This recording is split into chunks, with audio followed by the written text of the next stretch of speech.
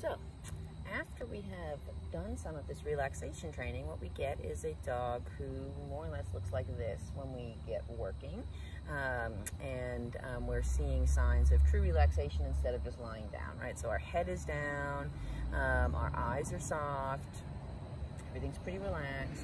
Um, I know this dog pretty well enough to know that he is still actually kind of anxious. There's a, a lot going on in the neighborhood today. He's seen some neighbors and heard some big trucks and here's can kind of see he will periodically lift his head up and, and sort of sniff and look around, but he's able to come back good to this relaxed position uh, because we've done a lot of work.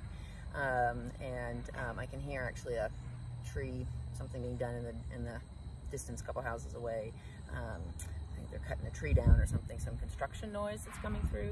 Um, good. And he's really doing a, a, a, good job at not becoming um, reactive or agitated um, to that.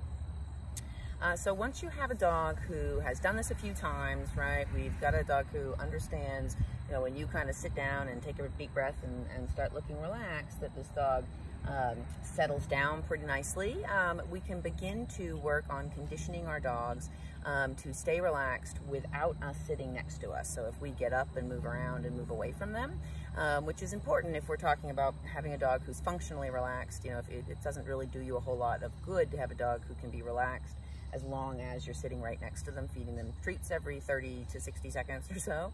Um, so we want to get those dogs um, to the place where they can just sort of stay chill and relaxed on their own and, and know that their owners are gonna periodically come back and, and reward them for good staying so relaxed, um, but that they don't need the owner next to them.